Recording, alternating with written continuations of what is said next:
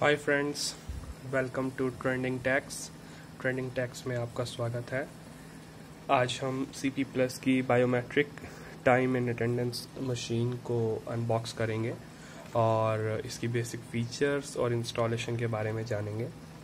So the brand is C P plus they claim that they are the number one brand in the Indian surveillance and security industry और ये काफ़ी हद तक justified भी है because C P plus has a nation wide presence and they offer good services and products also so जो आज हम प्रोडक्ट देखने वाले हैं सी पी प्लस का biometric attendance machine this is the basic product of C P plus in the biometric time and attendance devices and the model number is C P V T A T2324U. Uh, you must see this. Uh, the model number is CPBTA T2324U.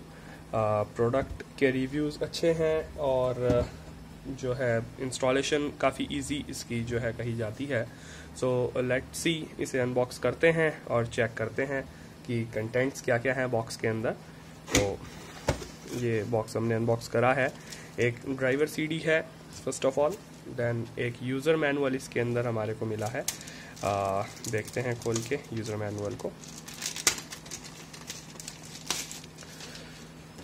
User manual काफ़ी well explained दिखता है अगर हम first गो में देखते हैं तो। इसके अंदर यूज़र को न्यू रजिस्टर को आ, कैसे हमें रजिस्टर करना है। देन उसका डिपार्टमेंट कैसे असाइन करना है। लाइक एच आर हो गया आई है। देन शिफ्ट भी हम इसमें ऐड कर सकते हैं यूज़र की। उसके बाद एडमिन अकाउंट जो है वो आप डिफ़ाइन कर सकते हैं। और द लास्ट ऑप्शन इज़ कि हम कैसे अपने बैकअप को यूएसबी के थ्रू एक्सेल के अंदर एज रिपोर्ट जो है वो एक्सपोर्ट कर सकते हैं। तो यूज़र मैनुअल जो है बहुत अच्छे तरीके से एक्सप्लेन किया गया है यहाँ पे। और इसकी हेल्प से एक नो वॉइस पर्सन भी या आप कह सकते हैं एक बेसिक नॉलेज वाला पर्सन भी इस मशीन को इजीली कॉन्फ़िगर कर सकता है। सो लेट्स गो हेड अब हम uh, जो है फ़िज़िकल कंटेंट्स चेक करते हैं और क्या क्या है। So this is the biometric device या अटेंडेंस मशीन ये आपके सामने है।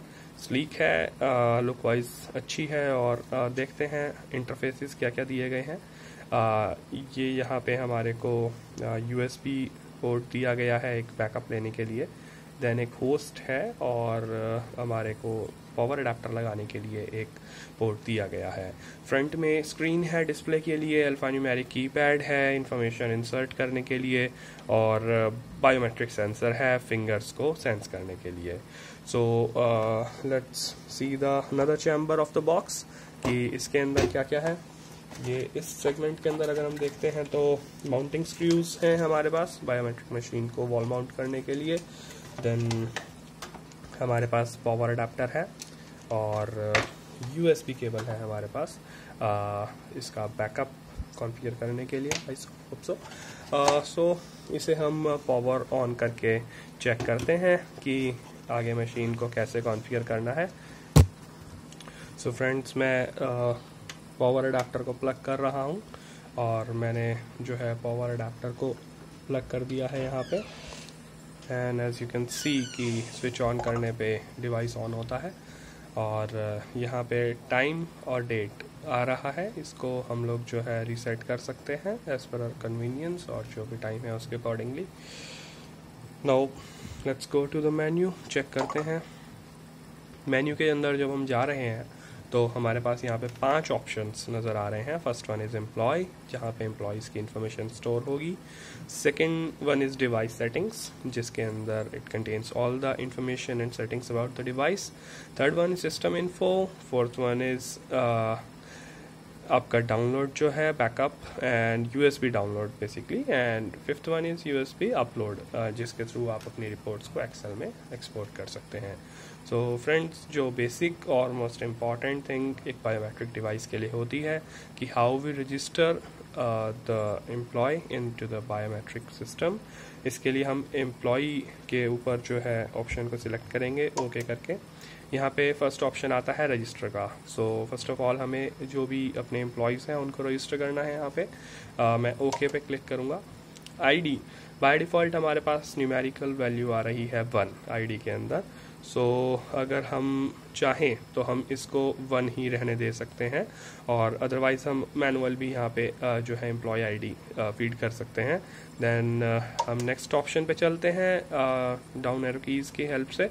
यहाँ पे नेम एक ऑप्शन आ रहा है यहाँ पे हम एम्प्लॉय नेम एंटर कर सकते हैं। So just for testing purpose मैं यहाँ पे एक नेम भी एंटर कर रहा हूँ। मैंने ओके okay प्रेस करा। नाउ डिपार्टमेंट अब हम यहाँ पे डिपार्टमेंट आप एम्प्लॉय uh, के डिपार्टमेंट के अकॉर्डिंगली जो है डिपार्टमेंट डिफाइन कर सकते हैं like fees in H R और इन आई टी और इन अकाउंट्स uh, जो भी उनका डिपार्टमेंट है। Uh, उसके बाद द मोस्ट इंपॉर्टेंट थिंग कि फिंगर हमें इनरोल करनी है यहाँ पे।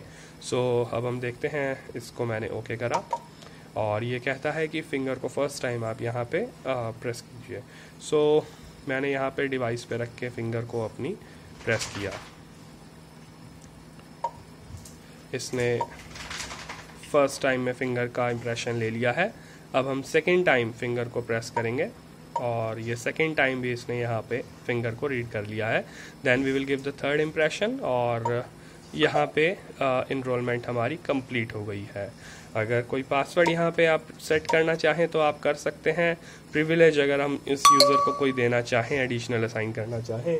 तो हम वो भी कर सकते हैं। सो uh, so, हम यहाँ पे इसे ओके okay कर रहे हैं सेव करने के लिए। ये हमने ओके okay किया।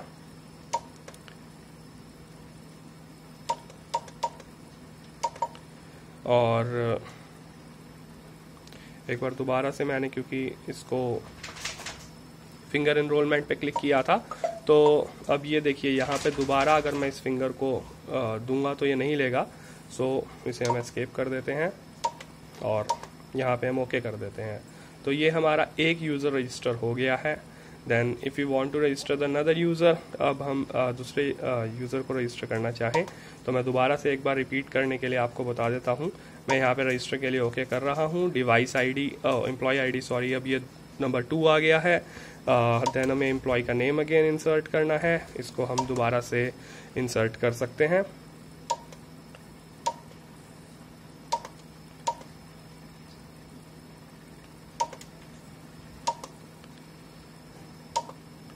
ये मैंने यहाँ पे इंसर्ट कर दिया है और फिर से अब हम लोग फिंगर इनरोल करेंगे यहाँ पे।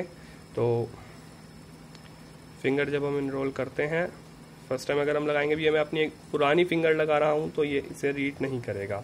So I use my second finger and इसने ये जो है फिंगर एक्सेप्ट कर ली है एज अ सेकेंड एम्प्लॉय और ये हमने इनरोलमेंट ओके okay हो गई है हमारी।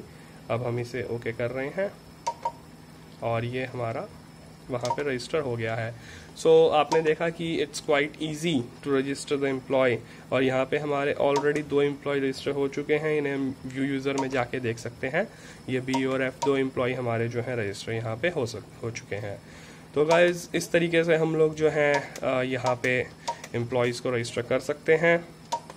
और इसके बाद जब भी कोई एम्प्लॉय यहाँ पे आता है और अपना फिंगर का इम्प्रेशन देता है तो ये यहाँ पे रीड कर लेगा इसकी आइडेंटिटी को।